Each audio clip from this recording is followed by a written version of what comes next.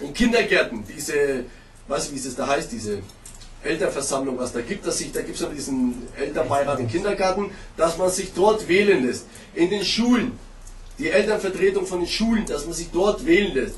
Dann auch in den Vereinen, nicht nur ihre Kinder hinschicken, auch dort versuchen, im Verein aktiv mitzuwirken, irgendwelche Positionen übernehmen.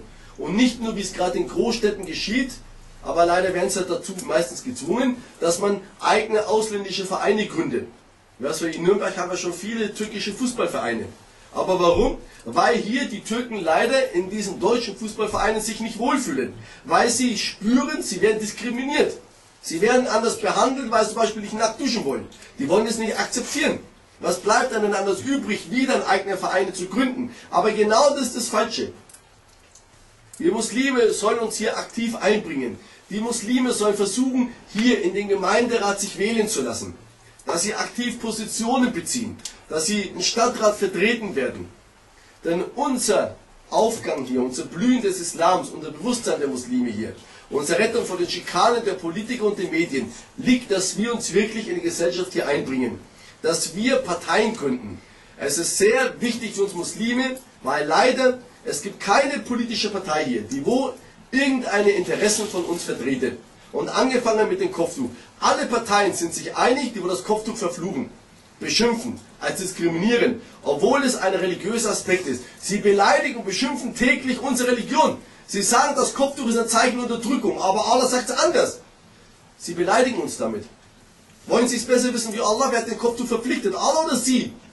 Und Sie sagen uns, das Kopftuch ist eine Unterdrückung, ist eine Minderwertigkeit der Frau. Aber Allah sagt, das Kopftuch gibt der Frau Ansehen. Es ist eine Ehre, die Frau gibt sich als ehrbare Frau zu erkennen. Also beleidigen Sie uns jedes Mal. Sie erschweren uns. Wenn man jetzt erzählt, neue Urteile sind gekommen, dass Mädchen sich von Schwimmunterricht nicht mehr befreien dürfen. Was sollen die armen Mädchen machen?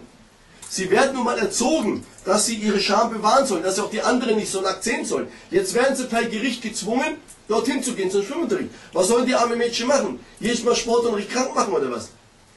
Sie, die Gesellschaft, drängt die Muslime raus hier, obwohl sie sich einbringen wollen. Wo ist ein Problem? Warum kann man nicht Schwimmunterricht in den Schulen für nur für Mädchen machen, nur für Jungs? Wo ist das Problem? Es gibt hier sogar ein paar Schulen, die haben äh, äh, Proben gemacht, sie haben nur Jungklasse und Mädchenklasse gemacht und seltsamerweise, die haben besser gelernt, getrennt, wie gemischt, kamen bessere Ergebnisse raus. Warum will man immer gegen Gottes Gebote vorgehen? Mit Bewusstsein. Aber mit diesen Aktionen wird keine Integration kommen. Deshalb ist für uns Muslime wichtig, dass wir uns stark einbringen. Dass wir zeigen, wir leben hier in Deutschland gern. Wir respektieren das Grundgesetz. Das Grundgesetz steht ja auch nicht gegen den Islam. Wo gibt es ein Gesetz, wo man sagen kann, das ist gegen, gegen den Islam, das gegen alles Gebote? Finden wir im Islam ja auch. Wir sollen die Menschen achten, wir sollen das alles machen. Also wo haben wir Probleme? Deshalb können wir mit dem Grundgesetz sehr wohl hier gut leben. Aber die wollen uns einreden, wir könnten das nicht. Ja, wer ist Moslem? Wir oder die Kafirs? Wir sind die Muslime. Warum wollt ihr nicht unsere Stimme akzeptieren, wenn wir sagen, wir können mit dem Grundgesetz hier sehr gut leben? Warum will man uns einreden? Nein, ihr könnt das nicht, weil ihr am Koran festhaltet. Meine Güte, wer ist der Moslem? Wir oder ihr? Aber leider, die Muslime sind auf dem Bereich noch nicht aktiv. Die müssen sich mehr hervorbringen. Und vielleicht mit dem Predigen von Pier Vogel ist es ein guter Anfang, dass Muslime bewusster werden, dass sie später auch erkennen, wir können nur eins erreichen, wenn wir eine eigene Partei haben.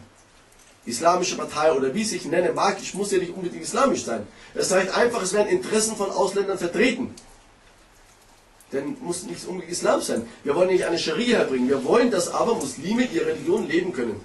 Dass Kinder die Möglichkeit bekommen, frei das Gebet zu besuchen dass Mädchen die Möglichkeit haben, die wo wollen, ist doch alles freiwillige Art, freiwilliger Akt, dass sie an Schwimmunterricht mit Jungs nicht teilnehmen müssen.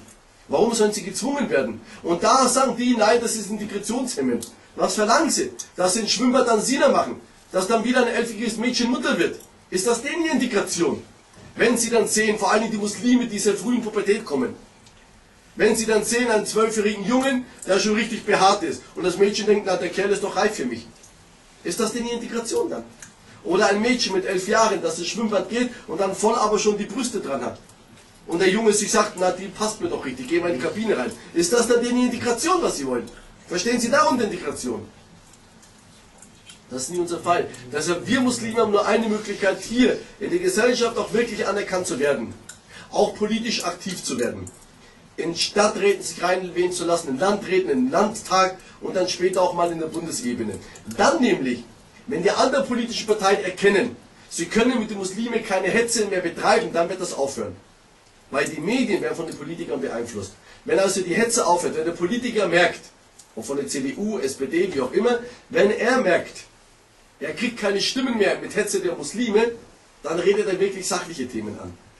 Und dann erst haben wir Muslime uns Ruhe. Und dann werden wir sehen, wie die Medien auf einmal sehr wohl gute Berichte bringen können. Wie sie vielleicht mal eine Situation vom Propheten ehrlich darbringen, als er nachts viel betete als er sich gekümmert hat über Sonstiges. Oder Ömer Raduan, der Kalif, als er nachts durch die Straßen gegangen ist als Staatsoberhaupt und sich um eine alte Frau gekümmert hat. Vielleicht finden wir mal solche Artikel in der Zeitung drin, statt immer nur Hetzkampagne oder irgendwelche Sachen, die wohl im Ausland passieren und uns Muslimen alle vorgeworfen wird.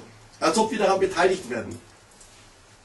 Deshalb, wenn ihr mal die Möglichkeit habt, bringt euch in Schulrat ein, also Elternvertretung, in Kindergarten, in den Schulen, in Sportvereinen, wirkt mit, macht Trainerschein oder was es alles gibt, Schiedsrichterschein, bringt euch eine Gesellschaft und zeigt, wir sind Muslime.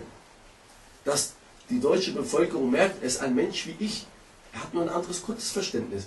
Aber wir laufen zusammen, wir lachen zusammen, wir haben zusammen Spaß, wir spielen zusammen Fußball. Dass sie erkennen, hier wird Hetze betrieben, bewusst.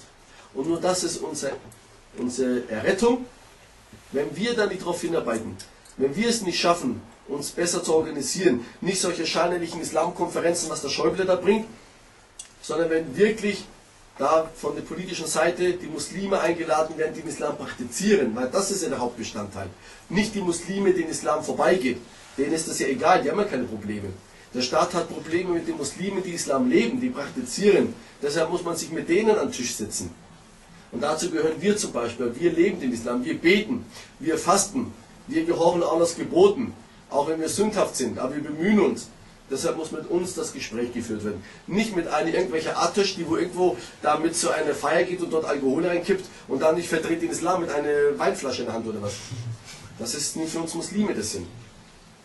So, dann beenden wir das für heute.